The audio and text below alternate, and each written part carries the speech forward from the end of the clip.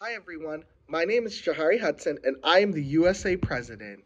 I hope that you are as excited as I am for Giving Day, a day in which you can support the Canisius community.